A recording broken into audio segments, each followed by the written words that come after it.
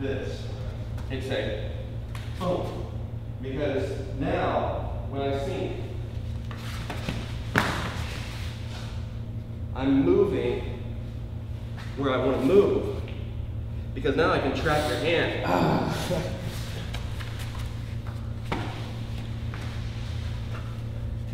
Pull you back. So I'm the ground movements that we use here. Whoops.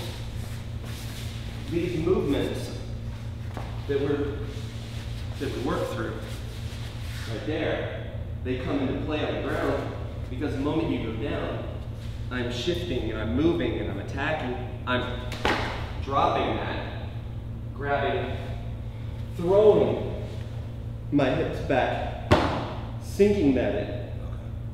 Everything is mechanically occurring as I'm moving instead of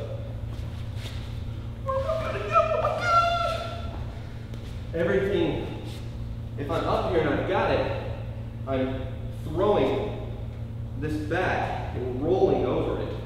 I'm changing the angle off of it. Instead of this there I'm here. I'm moving, I'm rolling back and bringing the angle inside so that I can come back up to that point.